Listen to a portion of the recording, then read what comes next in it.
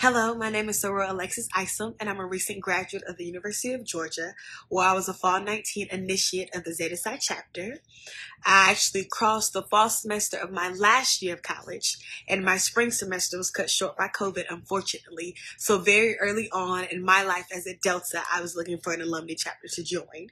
Um, at the beginning of my search process, a soror I hold very near and dear to my heart, Soror Elena Martin, um, had just been initiated through the Stone Mountain chapter. And with me moving to Atlanta, finding an alumni home was just a, a, a very stressful process. But she always had amazing things to say about the chapter, just about the sisterhood and the love that this chapter exudes. And so I wanted to give it a try. Um, I came and I, I, visited chapter a couple times and, and I fell in love. Um, actually, the first event that I attended as an official member of the Stone Mountain chapter was the Christmas party with my sisterhood group, and they welcomed me with open arms. Even though I was a new kid on the block, they did not let me feel it at all. Um, I, I just knew immediately this was the place I wanted to call home.